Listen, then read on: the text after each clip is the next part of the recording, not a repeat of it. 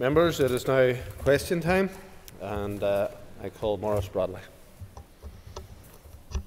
Mr Speaker, Mr Speaker, can I apologise for not being in the House uh, prior to the Easter break for a question to the Principal Deputy Speaker and ask question number one. Minister. Can I call you with your permission? Junior Minister Reilly will answer this question. High streets are at the heart of our society in more ways than one. They drive the economy, but they also create shared spaces where society thrives. The Task Force report was published in March 2022, and former junior ministers at that time paid tribute to the work done by the Task Force and welcomed the strategic narrative. The recommendations will be of interest to a number of government departments, and we will shortly write to executive colleagues inviting them to consider how they will take forward the findings of the report. Call, Mr Bradley. Thank you, Mr Speaker. Uh, thank you very much for that answer. Uh, in my own town of Coleraine, where we've lost uh, Marks and Sparks uh, to out-of-town shopping, we have, we have lost our footfall by 14% since then. And I'm wondering, is there any plans to, to, for the High, High, High Street Task Force to try and reverse this trend from shops in the town centre to out-of-town shopping? Uh, Minister. I thank the member for his um, his, his, uh, his question. Sorry.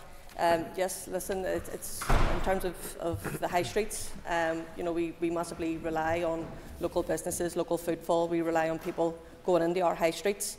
Um, in terms of the bigger companies, um, you know, unfortunately that's just where society is going, but of course we want to support them we, we absolutely want to see more people get into town centres, we want to see them um, shopping local.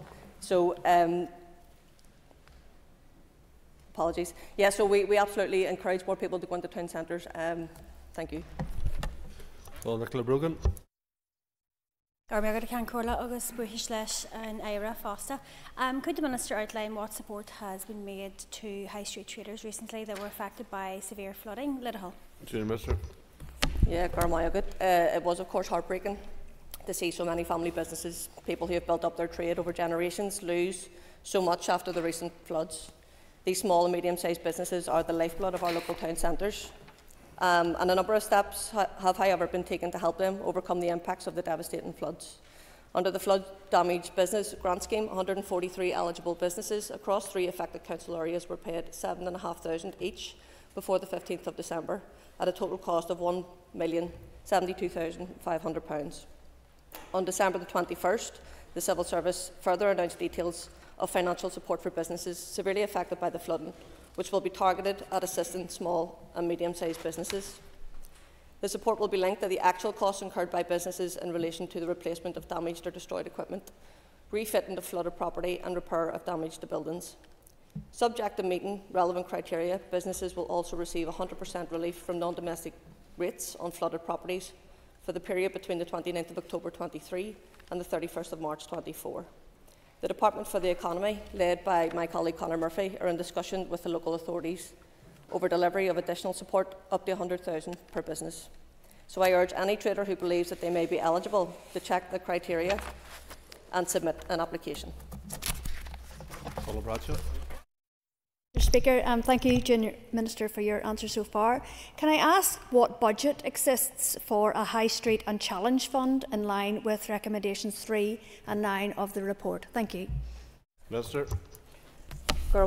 Um, and I thank the member for her question. Her question. Um, first of all, in terms of the report itself, we, we agree with the principles of the recommendations that were brought forward at the time. Um, we firmly believe that high streets must be supported um, but a more detailed consideration of how the task force recommendations um, and how we bring that forward um, and any impacts since the report was published, such as the cost of living crisis, the budget reposition developments in place based working will be a matter for the executive to consider. Mr Speaker, question two. Mr. Minister. The Deputy First Minister and I travelled to Washington DC for a series of St Patrick's Day engagements we travelled from the 13th to the 17th of March. We represented the four-party coalition of the executive and its shared objectives as part of that uh, engagement. This was our first international visit and an important opportunity to consolidate the strong relationship that our region uh, enjoys with the US. This relationship was crucial to our peace process and continues through today in terms of investment, knowledge sharing and support. And we continue to have access at the highest levels in the US, including a meeting with President Biden at the White House, to deliver a clear message that government here is back up and running, and it is vital that we seek every opportunity to attract investment, grow our economy and deliver for our citizens. Our visit focused on showcasing the local economy, our, our local economy as a compelling investment opportunity and highlighting the many benefits of doing business here. We were also able to deliver these messages at key events such as the Ireland Funds event, the Bureau Breakfast, the Special Envoys event, as well as having a roundtable discussion with the US Chamber of Commerce and business leaders. Events such as the Speaker of the House of Representatives luncheon, our fireside chat at Georgetown University. We had receptions hosted by both the British and Irish uh, ambassadors to the US. That all gave us huge opportunities to further our engagements with some of the most influential decision makers so that they too can see the potential that we have to offer. Ms. Thank you, Mr Speaker, um, and thank you for the update. Um, I welcome the very positive announcement of the huge investment um, of the in-kind donation from the US computer software company Alterac. Um, I would ask the First Minister how confident she is that we can build upon this fantastic news, um, positive news for Northern Ireland. First Minister. Yeah, thank you. And we, as you, you've uh, referenced, one of the companies that's chosen to invest here, which is really, really positive. And I can tell the House that the, the whole for the five days that we were there was hugely um, beneficial for us. There was huge goodwill. The, the, chair of the TEO committee was there also, as was the Education Minister, the Economy Minister, the Speaker. And we took every platform open to us and every engagement open to us uh, in terms of selling our words, as I, as I described it. But the investment potential that we have there, sometimes these things don't come overnight. I mean, it's inevitable that you have to build these relationships, um, both the diplomatic relationships, but also equally alongside that, these economic opportunities. And we were all a message in terms of saying that we are open for business, that we have a unique selling point in terms of dual market access, that we have a young workforce, that we have a, a happy population. Believe it or not, you wouldn't believe that sometimes when you hear the, the media headlines, but um, we had lots of, of really positive things um, to say. And given that we're such a small, um, outward-looking economy, it's really, really important if we're going to fulfil our potential and reach our potential in terms of investing in the, in the people that we serve then we take these opportunities. And our key message the whole way through this is about prosperity for our people. And I look forward to actually further engagements now to follow up on the, the linkages that we made, including a visit from Joe Kennedy, I think next week, which again was about um, furthering other opportunities and potentially having a future investment um, opportunity and perhaps even a delegation again advising. And then there'll be further opportunities for us to, to go back again in terms of following up on some of these things. Steve McLaughlin. Speaker, uh, can the First Minister um, list any further investments that was secured as a result of her engagements in the US? Um, we, have heard of one. Uh, are there others in the pipeline? Is it a strong pipeline? First Minister.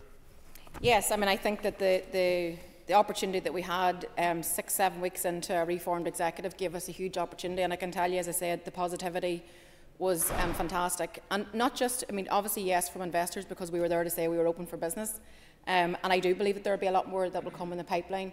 And it didn't come just as a result of the visit um, a few weeks ago. That obviously furthered relations that were built, but we had the investment conference and the Joe Kennedy delegation previous to that. Um, and all these things take, it, it is exactly a pipeline, it takes a bit of time to, to progress them. So I think that if, as I said, if we're going to fulfil our our ambition for our people and to make us a more prosperous part of the world, then we have to follow through on these. And I'm actually quite positive in terms of what we can achieve. And I think it's important on the economic front. It was important in terms of diplomatic relations, but it was also important in terms of philanthropy and looking towards other funds that are there that actually want to help us um, to deliver the things that we want to deliver here, particularly given the financial outlook that we have in terms of the, the budget allocation that we have here. So I suspect that over the course of time we will see many more uh, positive announcements. I know that both myself and the First Minister, our Deputy First Minister are determined to continue this work as is our Economic uh, Minister, who is determined to work with Invest NI, Enterprise Ireland, Intertrade Ireland. Let's scope out massively all these opportunities that we have and make sure that we achieve better jobs, better paid jobs, more jobs for the people that we all serve. Justin McNulty. I thank the ministers for their answers thus far. With the ongoing genocide and slaughter of the Palestinian people, what representations did you make to the powers that be in the United States in relation to calling for a ceasefire and calling for humanitarian aid to the impoverished people and slaughtered people of genocide of, of Palestine? First Minister. Uh, thanks uh, to the member and absolutely concur in terms of what's happening to the, the people of Palestine and that genocide must end and must end now. Six months on, it is harrowing to watch the scenes. The people in that region need support. They need an urgent ceasefire, they need humanitarian aid, they need a political solution. And I took, personally took, the opportunity on two occasions to say that directly to the President of the United States because it's important that you know, we know that the United States have been a firm friend in terms of the Irish peace process and helping us achieve the everything that we achieved 25 years ago. And I just asked that that same approach be applied to the Middle East and in terms of trying to achieve an immediate um, ceasefire. So took two opportunities. It was a platform not to be missed on behalf of the people of Palestine and to call for that immediate ceasefire. And I used every opportunity that I had to do that. Alex Easton. Question number three. First Minister. With your permission, uh, um, Junior Minister Reilly is going to answer that question. The Central Good Relations Fund is an annual merit-based programme designed to deliver and support projects in areas where there is a good relations need. Funding is awarded subject to a budget to those groups who score most highly in the assessment process. Welcome statements are used to identify particular thematic or geographic areas from which applications would be welcomed. In 23-24, we were able to fund projects across all council areas to the great benefit of communities and people who live here.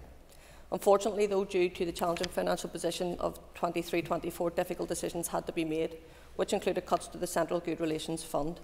This resulted in many worthy projects being unable to secure funding through CGRF. We would like to commend the ongoing efforts of groups in the community and voluntary sector who work tirelessly to improve the lives of people here, especially when times are challenging Central Good Relations Fund applications for 24-25 are currently under assessment and that process will be completed before the end of April 24.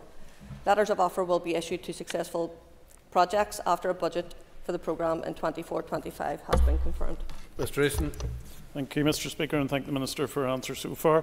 Um, how will the Department ensure that the Good Relations Fund will address the specific needs and challenges faced by marginalised communities, particularly women, who often bear the brunt of economic disparities and lack of resources? Minister. Well, just in terms of how the, um, the good relations um, is, is measured um, at a project level, impacts are, are measured by looking at challenges in knowledge, attitude and behaviour towards those from a different background from participation in good relations projects. Um, it's also done through funded stakeholders project reports, which often detail case studies highlighting the personal impacts of good relations participation. And more broadly, independent evaluations are conducted to assess impact and inform future delivery. Uh, officials do continue to work with key stakeholders to review and improve the evaluation process uh, to fully capture the positive impacts of good relations work. Gilligan. Can the Minister please provide an update on the delivery of the Together Building a United Community strategy at all? Dear Minister. Yes, go with leis ball as uh, there has been significant progress in delivering the Together Building a United Community strategy since its implementation. Over 30,000 young people have taken part in 870 TBUC camps. Five urban villages areas have been established and the target of building 10 shared neighbourhoods has been met. Over 27,000 participants took part in the Uniting Communities programme of sporting events and young leader training. Over 6,000 young people participated in the United Youth programme. The first shared education campus at Limavady is now operational, with work expected to commence soon on the Ballycastle Shared Education Campus. The Executive has also expressed its commitment for the Strule campus in Omagh. Um, approximately one third of interface barriers have been removed, with a further third reduced in stature. Work continues across other interface sites to secure the conditions needed for reduction or removal. And just in recent weeks, both Junior Minister Cameron and myself have been attending many, many events um, on good relations. Um, we were in Derry, Newry, Ballymena, Newtownabbey and Belfast. And in all these engagements, were, which are connecting communities, are further evidence that the TBUC strategy has facilitated meaningful progress and change at local level. And I want to commend the efforts of all the community and statutory partners involved in working to build a better future for all. I think I also want to acknowledge, just in terms of the community and voluntary sector, all the participants, all the, the volunteers, the staff, in terms of th those programmes who really go out and do tremendous, tremendous work um, and really make a difference to the people, not only who need, who need the programmes, um, but actually benefit from them massively. Um, and uh, I just want to commend all those for that. Matthew O'Toole. Mr Speaker. Junior Minister, would you agree that notwithstanding all the good work and good relations you've mentioned, the Executive's decision not to put back the ring fence for integrated uh, schools uh, and to effectively um, collude with the UK Government in removing that funding from, uh, from integrated schools damages the good relations agenda? Minister.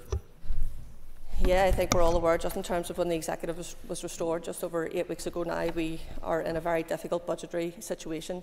Um, we, we know that, that we, we are underfunded.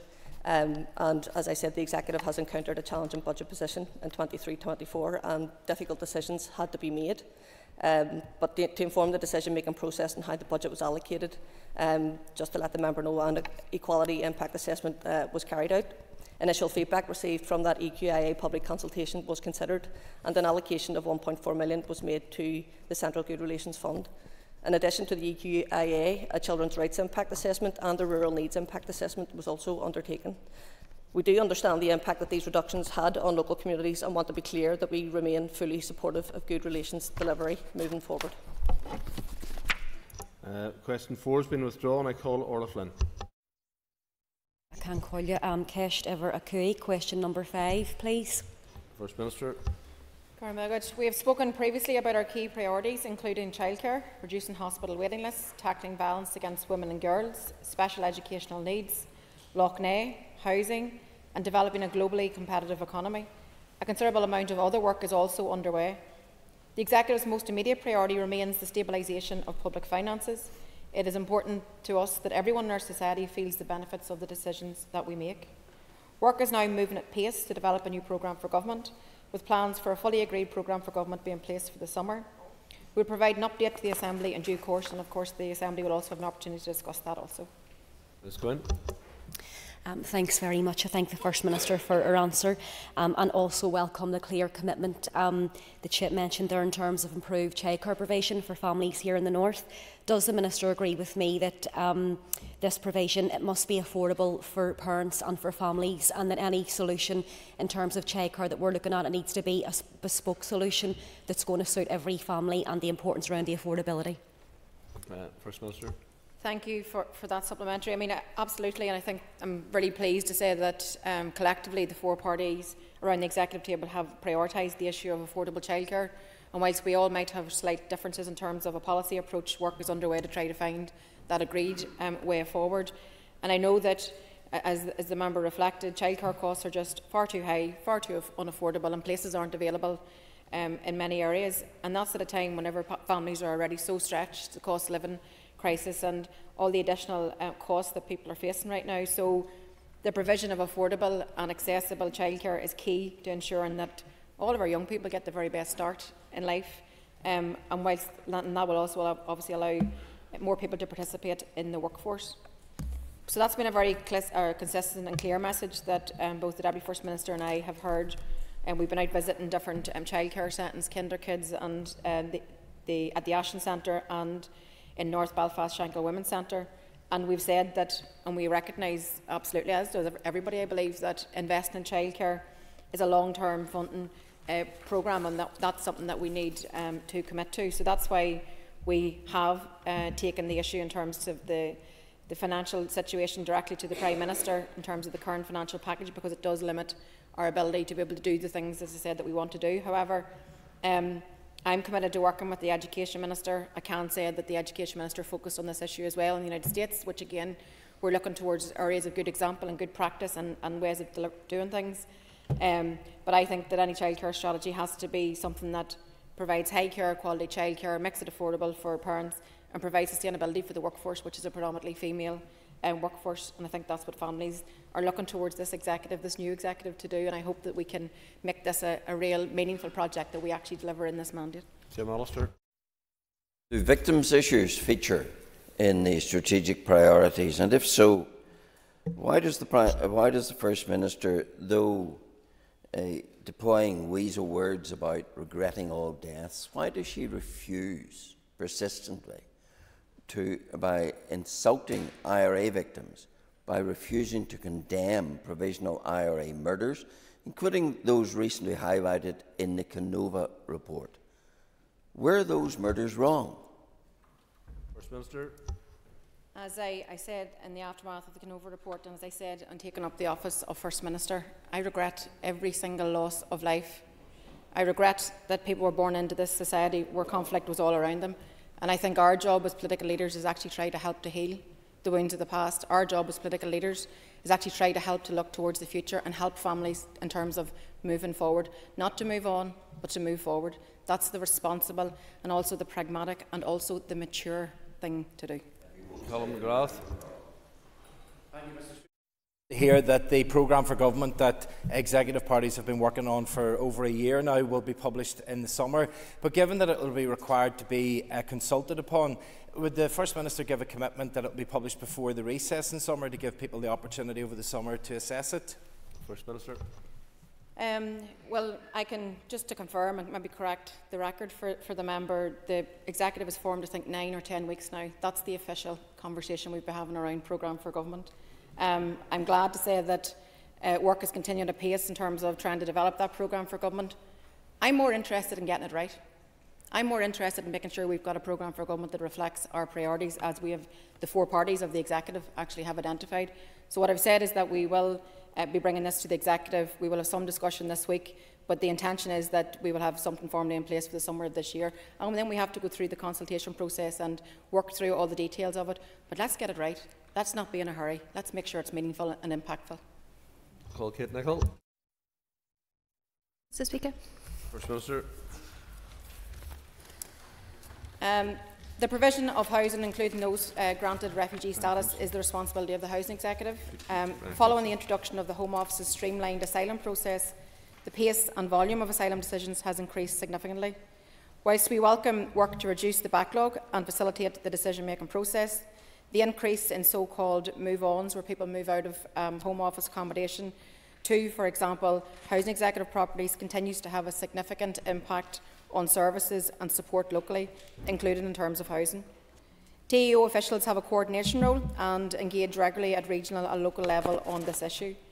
A multi-agency Move On coordination group, which also includes members from TEO, the Housing Executive, the Departments of Education, Health, Communities, the Education Authority, continues to meet uh, fortnightly so that they can coordinate the devolved response to that. We also engage through the Move On Delivery Board, which is chaired by Home Office and is attended by TEO and housing executive officials, alongside a range of stakeholders from across the regions. Uh, call, call Kate Nicholl. Thank you, uh, Mr Speaker, and thank you, First Minister, for your answer. Um, would you agree with me that whilst housing is a responsibility of the Housing Executive, integration is very much the responsibility of your department? And while the work um, uh, within TEO is welcome, there are issues with the governance around this, and people are falling through the gaps, specifically children who have been in Mears housing, then they get moved to different schools because they go into Housing Executive accommodation, then they finally get their final house, and it's incredibly disruptive and it is impacting integration, and more needs to be done around this. Thank you. I thank the member and I concur with the issues which you've raised and I think that's really, really important in terms of the governance, that we're actually listening to people that are going through this lived experience, especially also those people that are on the ground actually helping them every day. So I do welcome the work that's been done. I welcome the fact, but I also recognise there's more to be done, um, just to make that point. And whilst this isn't a devolved issue per se, there are issues that then fall to our responsibility and we have to make sure we're doing the right things. Uh, excuse me. So that's why I welcome the fact that um, we plan to bring a final refugee integration strategy to the executive in the coming months, and work's been going on to align the draft strategy to, so to make sure that we enhance the support that's there for refugee and asylum seekers. Um, and no doubt we'll want to talk about that more uh, in the time ahead. But that also does include, as I said, the establishment of making sure that, that we have the right structures in place in terms of the governance. I mean, I welcome the fact that we now have more stakeholder engagement, more people able to bring the issues of concern that they have to the table, and then we discuss them and work out how we can lobby on them. So I, I think we should always have an open mind to, if something isn't right, trying to fix it. Um, and that's the approach certainly that we'll take in TEO. Emma Sheerin. Score my um, First Minister, could you provide an update um, on the support for those people avoiding the war in Ukraine? First Minister. Thank you. Um, yes, absolutely. We continue to play our, port, our, our part even in supporting Ukrainians uh, fleeing war. We've had over 3,100 arrivals here so far, and more than £620,000 has been paid in immediate cash support just to help people get established. We have coordinated work across departments to support arrivals and facilitated payments of over 3 million to, to more than 900 individual homes, so those people that have actually opened their doors to help uh, and be Ukraine's sponsors. We're also very mindful that some of our first arrivals under the Homes for Ukraine sponsorship scheme will be entering the final year of their current visa, and that was a worrying moment for, for people. So therefore, we've welcomed the announcement made by Home Office back on the 19th of February that has confirmed the opportunity to apply for an extended Homes for Ukraine visa for a further 18 months for those that wish to remain. And as with all of these matters, given that the policy responsibility sits um, in London, um, we're going to continue to engage with the Home Office in London and the Department of Levelling Up on work, work to support Ukrainian arrivals. Um, I call uh, Brian Kingston. And to ask the First Minister, what impact has the Illegal Migration Act 2023 had, and what engagement has the Executive Office had with the Home Office uh, around it? Minister. Given that it hasn't come into full effect yet, we're still working out the implications for here. Um, so we have to continue with the Home Office as more of this um, becomes clear in terms of the legislation, what it means here in terms of uh, our responsibilities and what falls to us. But um, certainly, um, even though the Act came into effect in July of last year, most of the clauses haven't been commenced yet. So I think we need to get more detail in terms of what it'll mean. But we do continue, as I said, to liaise with the, the Home Office on plans that they have to enact the remaining clauses and then also what those implications are. And we have established a task and finish group which is chaired by TEO officials which will actually um, take that piece of work forward. Question 7 has been withdrawn. I call Donnelly Donnelly. Question 8, please. First Minister. Ensuring that the needs of victims and survivors continue to be met in the most effective and appropriate manner remains a key priority for the Executive. The role of the Commissioner is critical in supporting this work through ensuring that victims and survivors have a strong and independent voice and contributing to the development of policies so that their longer term needs are addressed. We are therefore keen that a new Commissioner is appointed as soon as possible and our officials are continuing to progress the administrative preparations required for the recruitment competition to appoint the new Commissioner. The appointment process itself is regulated by the Commissioner for Public Appointments, and we estimate that the whole process will take approximately six months. Mr Donnelly. Um, the Minister has just answered my supplementary, so thank you, Minister. I appreciate it. Oh, Linda Dillon. And Corlia, thank you, and thank the Minister for her response so far. Can the Minister provide an update on when a new chair and board members will be appointed to the Victims and Survivors Board, please? First Minister. Yeah, the current uh, board's second term ended on the 31st of March um, 2024, so this year just, just gone, uh, along with one other board member. Officials are currently considering interim arrangements should the chair position be vacant for a period of time. A competition to fill these vacancies was launched on the 15th of January and closed applications on the 2nd of February. So although the VSS is not a regulated body under the Capani um, guidelines, the appointment process is being undertaken in the spirit of the code. So it's hoped that the new chair members will be announced very shortly. Harvey. Harvey. Speaker, question number nine, First Minister. First Minister. Um, with your permission, then I'll answer number nine and ten together, if ten's not been removed. Um, the Deputy First Minister and I travelled to Washington to represent the four-party executive and its shared objectives. The US represents enormous opportunities for us. It remains our largest and most important source of inward foreign direct investment. 260 US owned businesses operate here and they employ over 30,000 people, so that shows the, the potential that we have to build on there. Our decision to travel to the US at the earliest opportunity was to seek out investors and companies and to demonstrate that we are, in fact, open for business and committed to building stability and prosperity through investment. The Deputy First Minister and I had a very positive experience meeting business leaders from a wide range of sectors who were left with a very clear understanding as to why they should invest here. We used our engagements in Washington to deliver a clear message that we are an attractive investment opportunity for global companies because of our talented workforce, dual market access with the EU, and innovative homegrown companies. We highlighted our strengths that we have, particularly in relation to sectors such as cybersecurity, regtech, fintech, advanced manufacturing, and health sciences, with a young, skilled and dedicated workforce. And we also impressed upon President, President Biden that we appreciate the continued support, including the work taken forward by Special Envoy Joe Kennedy III. Over the coming months, we can, will continue to build on these connections that we've made in order to grow our economy for the betterment of our citizens. We now move to topical questions. I call Matthew O'Toole. Thank you, Mr. Speaker. Uh, Minister, First Minister, uh, uh, uh, just earlier on, you said that a programme for government you hoped would be uh, ready to be delivered at some point, possibly in the summer. There are a range of motions that have been uh, debated, including many submitted by your party thus far since we returned on making, making affordable child, making childcare affordable, ending violence against women and girls, making school uniforms more affordable, addressing workers' rights. Many of these were heavily publicised, placed on the order paper, question, and voted Mr. for here. Thank you, Mr. Speaker. Can I ask whether these uh, commitments are actually going to be legislated on with financial commitments in a new programme for government? First Minister. Well, can I, ju- I thank the member who has uh, just recently written to myself and the Deputy First Minister in terms of some of these issues. So I can, as I said earlier, confirm that we are working at pace through the programme for government. We want to get it right, um, and it will include the priorities that I have identified previously. You've just noted some of those. I think it's important that um, that we deliver on what we say we're going to deliver, uh, that we understand the financial context in which we're working in. Um, so that's why I think that ideally, of course, we want to get um, to a point where we have a programme for government and a budget aligned and it's multi-year. Um, that's, of course, where everybody would want to be. Um, unfortunately, we're dealing with the, the confines of, of the current Treasury rules, um, but who knows where that will be in the future. For now, the executive's focus is around the programme for government, and of course, it's the ownership of all of the collective executive parties, and it needs to reflect the shared priorities of the executive, um, some of which you have, um, as I said, just referred to. But we are working on a draft document.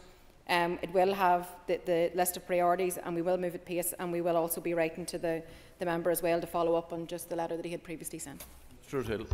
Thank you, First Minister. On uh, a separate but related issue, uh, just before recess, in a written statement that was not uh, delivered orally to the, uh, to the Assembly, the uh, Minister of Education appointed uh, the serving Justice Department Perm Secretary to be uh, Chief Executive of the Education Authority. He has confirmed to me in a written answer that there was no internal trawl. It would appear uh, that this appointment uh, did not follow the updated guidance Um, outlined in the RHI inquiry. the question, can, I Mr. ask, um, can I ask or- whether the First or- or Minister will not be taking found knew about this appointment beforehand, whether she supports it?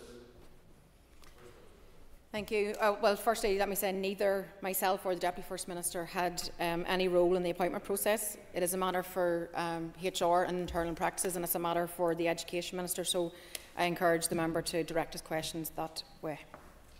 Call Liz Kimmins.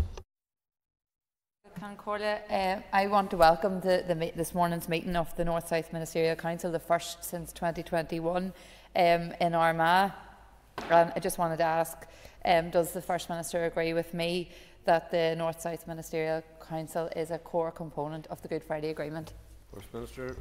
Yes, th thanks to the member for that. I mean, yes, it's a really important part of the jigsaw. So now that we have the executive up and functioning, our assemblies meeting, we're discussing the matters of the day. It's also important that we get all pieces of the jigsaw uh, put back together, and that includes the North South Ministerial Council. Um, I'm very glad that uh, we had our first uh, meeting, the first meeting that we, actually that we've had in three years. This morning, the meeting ran on because we actually had quite a lot to talk about. But I think our people are best served whenever all the institutions and all the apparatus of the Good Friday Agreement is working, and that includes on a north-south and an east-west uh, basis also. So we've had our um, executive restored North-South Ministerial Council meeting. We're going to have a British Irish Council meeting uh, in June also. So I think this morning was very much a positive statement in terms of all the areas of collaboration that we have. And we discussed, you know, I'll not get into listing everything because I'll leave something out, but we discussed everything across um, from the infrastructure projects such as the A5, you know, the, the Ulster Canal. Um, we talked about how we're going to work together across health, education. We talked about childcare. We talked about quite a range of areas. And to me, on this 25th anniversary of the establishment of North-South bodies, this is a good opportunity for a, a refresh in terms of all those areas of collaboration. Ms Kimmins. Cormailgan, and I thank the First Minister for her answer. So based on that, um, can the First Minister give her assessment of the huge potential then coming out of, of today's meeting and what progress we may see then in the time ahead? Cormailgan. First Minister. kind of stole your thunder, nearly moving on to that. um, but yes, it was a it was a good meeting. It was a productive meeting. Um, it's good to get it back in place. It's an important um, part of the Good Friday Agreement, um, and really the whole focus of it is around delivery, around the key projects and the key areas that we have identified, as I said, across health, education, the economy. Um, all ministers are now going to go off into their sectoral formats and will meet across their specific area of interest. But I really look forward to making progress, and as we work collectively through the institutions, I think we can do good things in terms of building the better future for the people who live across this island, particularly around these areas of um, collaboration and where we can work in partnership. Call Sorcha Eastwood. Thank you, Mr Speaker. Um, I'd like to ask the First Minister for an update on the legislation for an inquiry into mother and baby homes. Mr. Thank you um, for, for, that question, and we're continuing to work our way um, through this. Um, we're going to be bringing our legislative programme to the executive in the coming weeks. This will obviously be one of the areas that falls under the remit of uh, my uh, department, and I am certainly determined to, that we get the legislation over the line as quickly as possible because these people have waited for far too long, um, and we don't want there to be any delays in terms of us being able to get to the point where we have the legislation to bring for, for debate. I hope that we can do that and do it well. Um, I personally am meeting some uh, mother, uh, some of the mother and baby homes, uh, people who've been advocates for all this change that has been happening over the last number of years and all the rightful recognition of the wrong that was caused to them. Um, and I just want to give them our assurances that we're going to bring this forward as quickly as possible. I call Sorcha Eastwood. Uh, I thank the First Minister for a response, and I would just be anxious and keen to ensure that the inquiry includes protection for, for burial sites which is especially urgent given concerns around the ongoing work at Milltown Cemetery, which is potentially causing damage to the resting place of thousands, including, according to Amnesty International, potentially hundreds of babies from mother and baby homes. First Minister. I concur with that, with that point. Um, this is such a sensitive issue. Um, decades people have been waiting to uh, to get recognition of what happened. Um, thankfully, we've made some progress, but we certainly have more to do. But I absolutely take on board the point that you make in terms of making sure that we are protecting burial places. Uh, question four is withdrawn. I'll call Alan Chambers. My question is along the same lines as Ms Kimmins' uh, question, and it's to ask the First Minister for her assessment of the economic value of the meeting earlier today of the North-South Ministerial Council. First Minister. Yeah, thank you for that, and uh, congratulations on your elevation to the policing board. I believe that was announced earlier today. Um, so, yeah, economic value, absolutely. I mean, we, we live on a small island. Uh, we had both the economy and enterprise ministers um, across both jurisdictions talking today about the opportunities that there are in terms of growing the all-island economy, in terms of growing the economies across our islands. Um, and I think there are huge opportunities for us here to work uh, collaboratively in going forward. I know that the uh, Economy Minister referenced um, today that there are opportunities for Invest NI to work with Enterprise Ireland, to work with uh, Intertrade Ireland, and that they can look towards joint missions in terms of, again, looking towards that economic opportunity to create better prosperity. So I think there's huge actual opportunities for us, and, and I'm glad that we were able to discuss that at the North South Ministerial Council this morning. Mr. Chambers. Thank you, uh, thank you, Minister, for that. And given the, re the renewed uh, cooperation on East-West issues, is the Minister confident that Northern Ireland's economy will benefit from these opportunities for dialogue regarding East-West and North-South trade? First Minister. Yes, dialogue is the key to making everything work. Um, so I think that the more conversations we can have, the more joined up we can be have, we, we can be, particularly across these two islands. I think that that will be to the mutual beneficial uh, of, of all the people that we collectively serve. Prosperity, prosperity, prosperity is what we all should be focused on. We had a conversation earlier about shared societies, about building shared communities. Let's lift everybody up. That will bring everybody up and that will actually create a better shared space for us all. So I think that there are huge opportunities for the time ahead and I hope that we all have the political will in which to, to grasp them. I think that that certainly was evident this morning. Deborah Erskine. Minister for answers so far. I note that the First and Deputy First Minister, along with the DAERA Minister, visited Lough Neagh recently. And uh, at the Committee for Infrastructure, uh, we heard from the NI Water CEO. He said that overspills are contributing to the issues at Lough Neagh. So, what will the First Minister do at the executive table to ensure these overspills are addressed? First Minister. Thank you for that question. And, and, as the member knows now, the executive has said that Lough Neagh is one of our priorities. And we also know that there's no, unfortunately, there's no quick fix. There's going to need to be investment. There's going to be need to be short, medium, and longer term plans. But the fact that myself and the Deputy First Minister and the DAERA Minister went out onto site to meet with the Lough Neagh Partnership last week was to demonstrate the Executive's commitment to taking on the collective problems that we have because this will not fall to one department in this uh, Executive, this will fall to many departments, whether that's wastewater infrastructure, in terms of agriculture runoff, in terms of the zebra mussel issue, the blue-green algae, which is a, a, European problem, probably a worldwide problem, not, but specifically not just a Lough Neagh problem. Um, so I hope that that gives some assurances that whilst we move towards the plans of which the DAERA Minister will be bringing some to the Executive around environmental improvement plans, a Lough Neagh specific plan, um, but that will be for him to talk about uh, in his own right. But just to say that's the kind of volume of work that we are undertaking. And actually further to that, at the North-South Ministerial Council meeting this morning, both myself and the Deputy First Minister had a conversation previous to the meeting and then brought it into the meeting around the need to share um, innovation, research and experience around what's happening in Lough Neagh. Um, and there was an agreement to advance that piece of work. So perhaps there'll be something very good will come from that in terms of the, the so identifying the problems, the research, innovation, and just that sharing of knowledge. I think is going to be crucially important. Ms. Erskine. Thank you to the First Minister. Um, protection of our waterways is obviously key in terms of Lough Neagh, but overspills is an issue in waterways across Northern Ireland, for example, Lough Erne, River Blackwater. Uh, will you be ensuring that protection of our waterways will be key in programme for government? First Minister. Yes, I, have said that we will prioritise Lough Neagh, but I think that there are individual responsibilities that will fall to each of our, all of our other executive colleagues around the executive table. So let them bring their expertise and their skill set and their executive papers. But they'll not be found, we'll not be found wanting in terms of supporting us all doing whatever we can to arrest the situation that is currently um, faced. We've, the report's been published, we know what the challenges are. The big challenge for us is going to be how do we turn that around? How do we fix the problem given the financial constraints that we're, that we're under? That's why the financial argument is still crucially the number one important argument for us. Call Robbie Butler. Speaker, I'd just like to take the opportunity to uh, say well done to the First and Deputy First Minister in terms of the start that they've made to their tenure in the Executive Office. But I would like to ask the First Minister what steps the Executive Office have taken to ensure pre-emptive and proactive scrutiny of all EU, EU legislation uh, and, and, will be done in a timely manner. First Minister. Well, as the, the member knows, we now have a, a, a committee established which is going to have a remit of scrutinising all of this work comes to ourselves first. We have a decision to make and then it can come to the floor of the House. So this is a new arrangement for us all and I think we're working our way through it. We've had two such debates in this Assembly chamber so far. Um, but I think it's important that uh, we work our way through these as they come, but we don't want to tie ourselves up constantly on these issues. But clearly where there are issues of significance or that we want to discuss, then we should we have the forum now, we should take it to discuss them.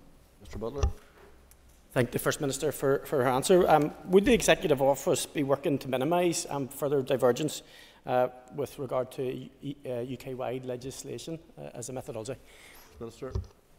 Look, I think it's important that we, are, that we work our way through this in a pragmatic sense, that we take into account the needs of business. If Brexit's going to tell us anything, it is that if we don't listen to the needs of those people in industry who are challenged every day by the implications of the outworking of all of that, then we're not learning lessons. So I would like to think that we can take a very pragmatic approach about um, how we move forward. Uh, will we always agree? That's yet to be tested, but sure, let's, let's work our way through it and let's do it with, with the intention of trying to do the right thing by the, the business community that we're all trying to help to prosper, to grow, because ultimately that helps uh, our whole economy prosper and our people prosper. Tom Elliott. Speaker, and uh, the First Minister did mention about uh, the Ulster Canal being on the agenda today. Wonder, could you give us an update on that, please? Minister. Yeah, just to say that um, obviously the, the, member will have a keen interest in this, uh, given his proximity to it. But um, yes, it was raised again today in terms of how we're going to make progress. But there'll be a fuller report to the Assembly Chamber in terms of the outworking of what we did today. Today's meeting was about taking a stock of where we've got to and then what the, the imminent plans are. But um, there will be further sectoral meetings to get into the in-depth detail around the next stage of the Ulster Canal. But there was huge enthusiasm in terms of making sure that we fulfil the commitments that have previously been made and that we advance the project and move on to the next stage. Mr Elliott. Thank you and thank the, the First Minister for that. The, there is a slight problem in, in a community facility in, in the area where it's going very close to it and it may requires removal. Is there any discussions available still around uh, the slight movement of it? Office Minister. So that wasn't discussed today, um, but I'm happy to uh, ensure that you get a, a, written response if that's been raised. But perhaps you might want to write to the office just to highlight whatever the challenge is, and I'm happy to get us to look at that. Um, that concludes topical questions to the First Minister. We now move to the Education Minister, and the first question is Mr Stewart Dickson.